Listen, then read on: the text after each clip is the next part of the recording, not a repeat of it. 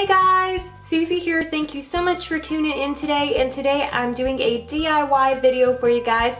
Today we are making a DIY lip scrub at home. Now I'm a really big fan of Lush products and one of my favorite products that they have at Lush is their lip scrubs. They are definitely a lifesaver, especially in the wintertime because my lips start getting so chapped and right now I think everybody that's dealing with cold weather is dealing with chapped lips. And one of the best ways to get rid of chapped lips is to use a lip scrub. And this one is a homemade all natural lip scrub that you can use on a daily basis even if you wanted to. It's still very gentle.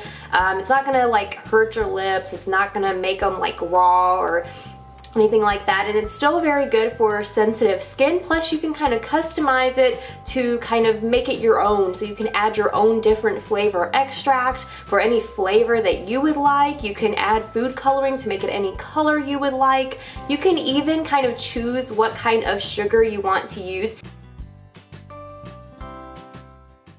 So to make this, we're going to need our sugar first off, and I'm using a pure cane sugar that I got from Dollar Tree. It works really well, but if you like, you can use brown sugar or any other sugar that has kind of a coarse, um, rough grain to it, a little thicker grain. And you're also going to need some kind of oil, so you can use olive oil like I'm using. You can use almond oil, coconut oil, whatever kind of oil you would like. This is what's going to moisturize our lips. And you can also use whatever flavor extract you like. So I'm using peppermint because I want it to have a minty taste. But you can add cinnamon or vanilla or whatever extract flavor that you would like and you're also going to need a spoon. I'm using a teaspoon because I have a small container, but if you have a bigger container, you can use a tablespoon. And then you're also going to need a container, and I'm just using this really small container that was from an e.l.f. Um, little lip tint that I got at Dollar Tree, um, but any little container like this will work just well.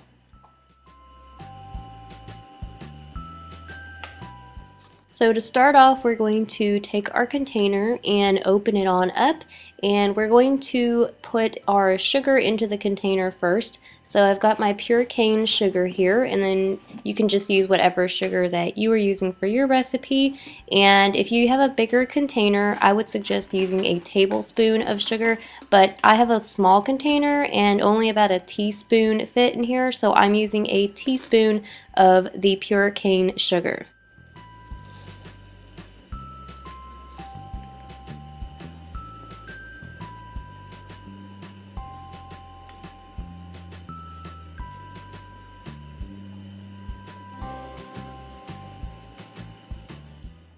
So now that I've got all my sugar in there, I'm going to add my oil and I'm using this extra virgin olive oil, but as I said, you can use any kind of oil you like. And I'm just going to measure out a half teaspoon of olive oil. And I'm just going to add it into my sugar. Now we're going to add our extract and I'm taking my pure peppermint extract. As I said, you can use whatever kind of extract you like and I'm just going to add about up to three drops of the peppermint extract. Kind of hard to measure out. Now I'm going to take a little stirry mechanism so you can use a toothpick. I don't have a toothpick in my house, um, strangely enough. So I'm just using the end of this thermometer that I had and I just made sure I cleaned it off really well and just stir it all around and mix everything up in there and you should start noticing it start looking like a lip scrub.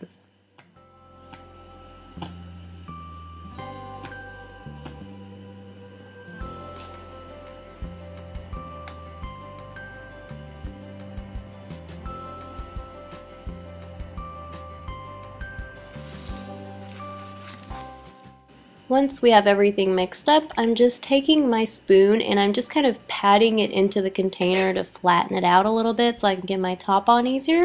And then just screw your top on.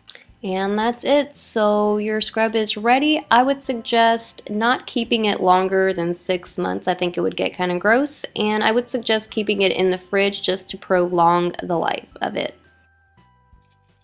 So I'm just going to show you guys how to apply it, um, or you can tell whoever you're giving to how they can apply it. Um, just take a bit of it on your finger, slather it onto your lips, and just rub around and get all that dead skin off.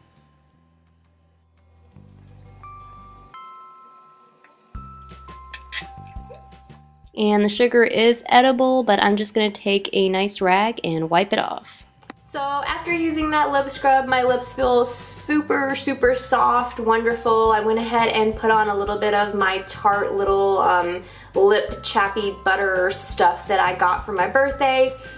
I love it. My lips feel really soft and really silky and this stuff tasted awesome even though I'm kind of weird about eating the lip scrub after I just like exfoliated my lips with it but it does taste really good so if you do want to go that route you're more than welcome to. Of course I showed you guys I prefer to just kind of wipe it off with a little bit of a wet rag or something like that but yeah so that is how you make your own DIY lip scrub. I hope you guys enjoyed this video. If you did, give me a thumbs up and definitely leave me some comments down below if you guys enjoyed it and you want to see more of these or if there is a DIY that you would like to see. Um, I want to do some more face masks and like facial toners and different things. So just let me know if there's a certain thing you guys are interested in. I can also show you guys how to make your own fragrances. I have made that before have made my husband some DIY fragrances. So just leave me a comment down below and I will try to do it. And I hope you guys enjoyed this video. I will see you in my next one. Subscribe for more videos.